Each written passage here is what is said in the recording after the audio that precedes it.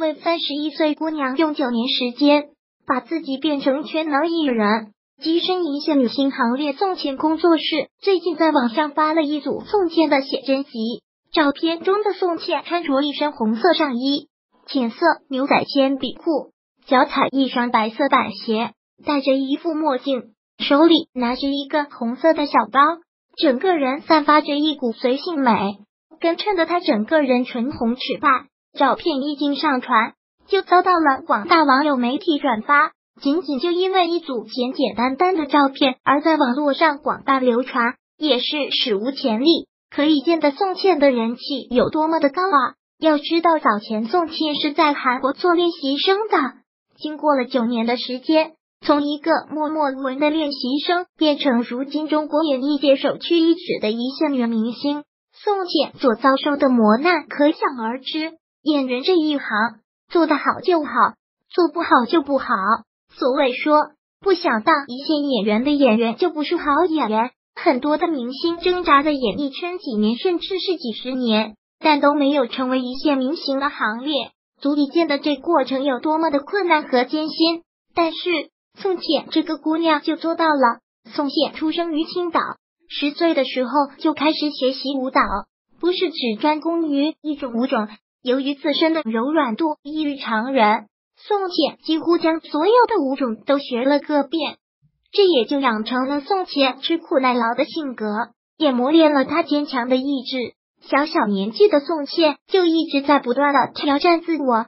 长大后的宋茜考入了北京舞蹈学院，本来的初衷是想着毕业了。就像个普通人一样做个舞蹈老师或者是舞蹈演员，但是在大三那年，走在路上的宋茜被星探发现，星探以韩庚为例子，鼓励建议宋茜可以去韩国做练习生。要是一般人肯定会选择无视放弃吧，但是宋茜却格外有热情，因为自己也是很热爱舞蹈，又喜欢挑战自己，所以毅然而然放弃学业。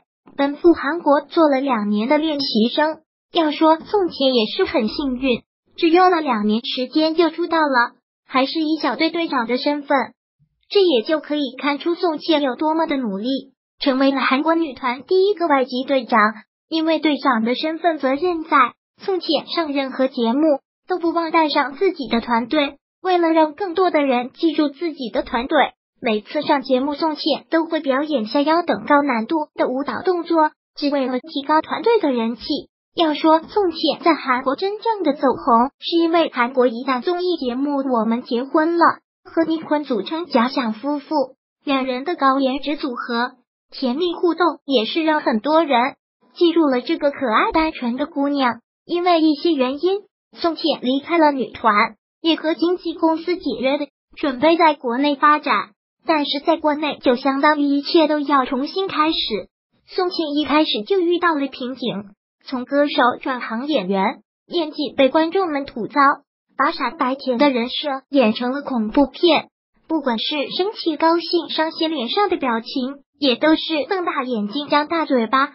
不管是因为什么上热搜，宋茜的名字前面的标签也永远是烂演技。但是说实话，宋茜是女团出身。没有演技很正常，毕竟没有经过正规的学习和训练，所以一直以来对于自己烂演技的标签，宋茜也是默默接受。但是一直在私下里学习演戏。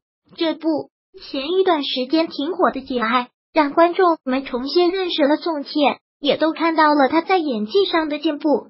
二零一八年，宋茜又从演员变成了导师。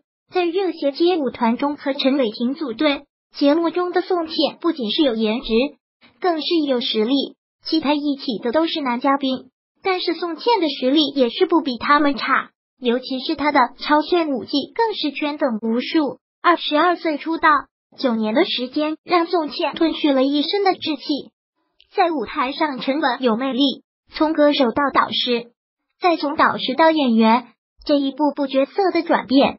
更是让宋茜很好的证明了自己，变的是身份，变的是性格，但不变的是他对生活、对工作的热情。都说眼睛是心灵的窗户，宋茜的眼睛里没有污垢杂念，有的是单纯和无畏。